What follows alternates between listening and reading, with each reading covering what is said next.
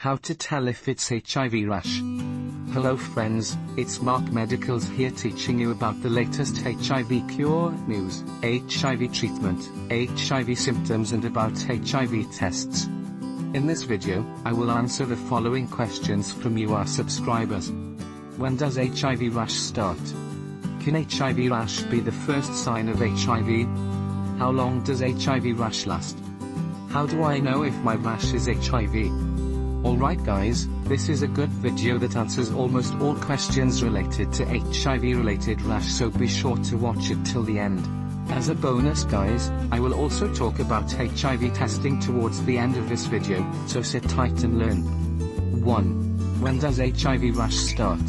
Skin rash can occur due to many causes including infections like HIV, allergens, immune system disorders and medications like HIV treatments. What you should know is that, every person HIV positive or negative could easily suffer from body skin rash.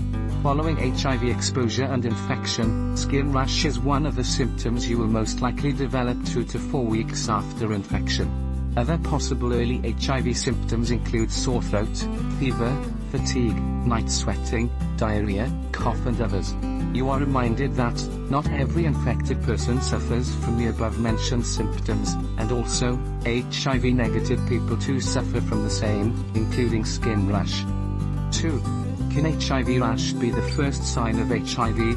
Hope you guys still know that, there is a difference between symptoms and signs. A symptom is what usually forces you to go see your doctor, while signs are what your doctor discovers in relation to your disease. I already mentioned that, HIV skin rash is one of the earliest HIV symptoms. But, if you visited your doctor for other problems and your doctor while examining you discovered a body rash, yes, HIV will likely be among the suspected diagnosis along with other body rash causing infections like syphilis, allergies, and others.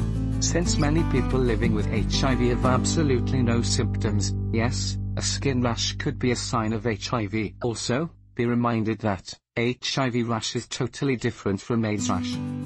3. How long does HIV rash last? Early HIV symptoms like skin rash last from a few days up to a few weeks and usually could disappear without any treatment. According to many study reports, more than 60% of people living with HIV usually suffer from HIV-related rash.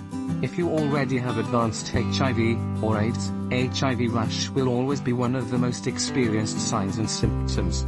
If you want to know how to prevent yourself from HIV skin rash, see our recommended products in the description section below this video.